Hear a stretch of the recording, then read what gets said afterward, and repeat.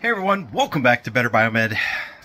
I'm getting back into the swing of things. It's been a long last week. There's been some pretty big disappointments and you know, I've been traveling and I've had some upsides, some downsides, you name it. Um, but guys, get back into it. I'm cleaning my area. I'm going to do some more videos and I just want to let you guys know that uh, I did one update to the betterbiomed.com and uh, that is I changed one of the the questions that's being asked of people looking for job assistance, and uh, that one single question is, "Are you a USA veteran?" And the reason I'm asking that question is because there are many programs out there that are centered around uh, U.S. veterans where we can actually get them additional help on top of whatever else is going on.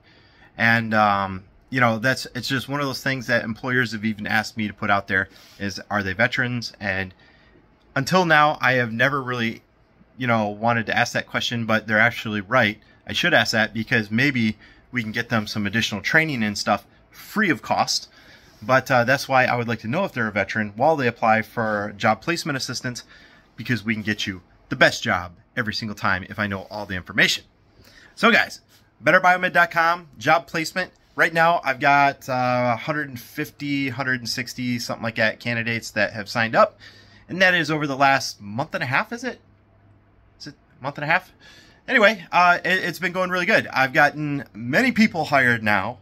Many. And if you're on the old list, I'm going to purge the list about every 30 days. So I'm going to just start color coding them every 30 days and uh, that way there um, those people should reapply. If you're looking for job placement assistance you should reapply every 30 days. That way there you stay at the top of the list because recruiters and um, you know hiring managers and stuff they have a date code and they can see when you are looking for job placement assistance. And they're obviously going to try and choose the latest and greatest because usually people find jobs within a week or two. Just saying. So if you've applied previously uh, go ahead and reapply.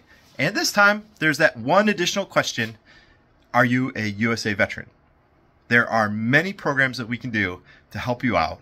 And I know of several employers, they're specifically looking for these type of candidates. And uh, I've been talking about some pretty amazing opportunities with these guys.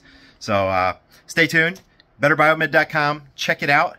And uh, go ahead and sign up if you're looking for assistance with finding a job. Thanks for watching.